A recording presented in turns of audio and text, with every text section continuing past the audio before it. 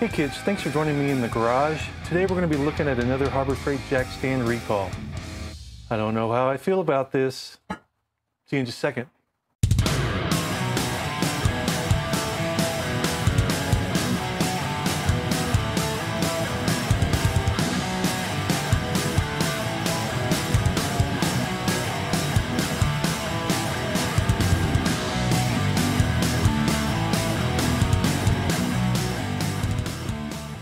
All right, so this here is the replacement jack stand I've got for uh, the ones that were recalled. So I had the six ton variety. They were model uh, or part number 61197.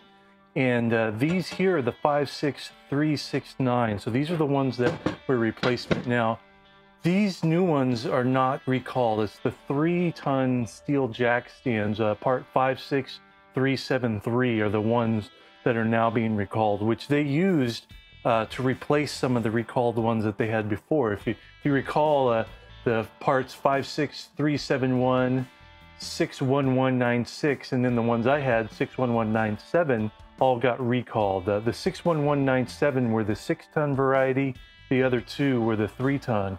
And now uh, one of the replacement ones that they had, uh, the six, or excuse me, 56373, those ones are uh, also now recall that they've just been replacing people. So some people, you know, are in the scenario where they've had to replace their recalled jacks twice now. And so, you know, that's got to make people feel a little leery. So the reason that they're recalling these is because some of the welds are, are blowing out on them. And so what I'd like to do here is kind of just take a look at uh, the six ton. These were not recalled. Just kind of take a look at the welds and so you can kind of see, you know, if you look at these, this might be kind of hard to see in here. Uh, let me get a little bit of light.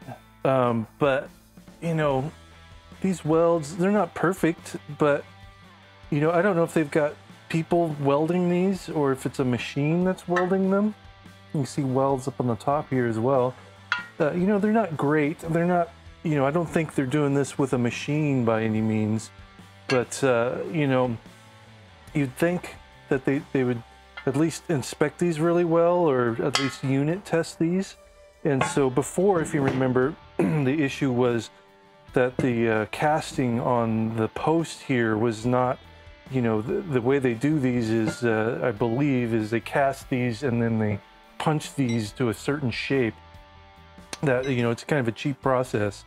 And so uh, the, the spot where the pawl went in did not, you know, just wasn't deep enough. And so it wasn't able to grasp these as well as they wanted to. And so they were just straight dropping when people were uh, underneath the car with these jack stands. So this one here is a completely different issue. You know, the issue is what's happening, I think, is that the, the welds are breaking and these are just, you know, totally failing. And, you know, which I think is a much more dangerous failure because you know, sure, this, you would typically, you would need to bump the handle in order for the post to just collapse on you. But this one here, there's, you know, unless you're inspecting these wells regularly, the, you know, there's not really going to be any kind of warning or, you know, there's no interference from the user at all that, that uh, needs to take place before these fail. And so that is a bit concerning. So what I would suggest you do, again, uh, the, the recall jack stands are 56373. Go check yours if you've got the three ton variety. I only have uh, the Pittsburgh six ton variety. I had one that was recalled and uh, one that was not. If you remember, I kind of showed you the difference between the two uh, before I returned the recalled ones. And so, you know, go take a look at yours. If you've got the three ton variety, you know, you probably want to just take them back, get a refund, go get another wrench or, or, or store credit or something. Um, because, uh, you know, those three tons, I don't know what, you know, if there's a different factory they're made in, you know, it's interesting because there's the, the 60,000 and the 56,000, or like the 61,000 series and the 56,000 series. Um, and it seems that these 56,000 series ones are the ones that have the issue.